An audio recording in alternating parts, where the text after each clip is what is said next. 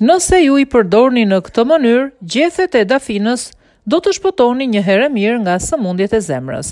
Gjethet e dafinës jo vetëm i japin një shije fantastike gatimeve, por kanë gjithashtu cilësi të detoksifikojnë trupin tuaj, ngadalësojnë procesin e plakjes, përshpejtojnë procesin e shërimit. Për të mbrojtur organizmin nga infeksionet, Mbajnë diabetin nën kontroll, përmirësojnë shëndetin e zemrës, reduktojnë inflamacionin, rregullojnë frymëmarrjen, përmirësojnë tretjen, lehtësojnë dhimbjet nga reumatizma, luftojnë bronkitin, parandalojnë gripin e shumë të tjerë. Gjethet e dafinës kanë një impakt të fortë në sistemin tretës si diuretik që ul nivelin e toksinave në trup dhe reagon ndaj helmimeve ushqimore.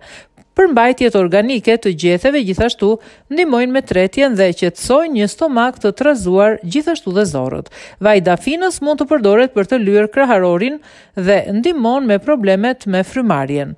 Nëse nuk keni mundësi të përdorni vajin e dafinës, mjafton të zieni ujë me dafinë dhe të shfrytëzoni avullin që do t'ju lehtësojë dhe do të eliminojë bakteret e rrezikshme që gjenden në sistemin e frymëmarrjes. Por kujdes se përdorimi i vajit të dafinës i ndalohet grave shtatzana. Gjethet e dafinës kanë në përmbajtjen e tyre acidin kafeik dhe rutin, dy elemente që i japin zemrës forcë.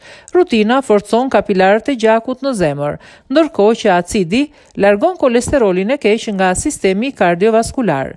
Dafina kundër ankthit dhe stresit. Dafina ka një efekt lehtësues, çlirues dhe qetësues. Trumza, borziloku dhe dafina Kanë në përmbajtjen e tyre linalol, një element që ul hormonet e stresit në organizëm.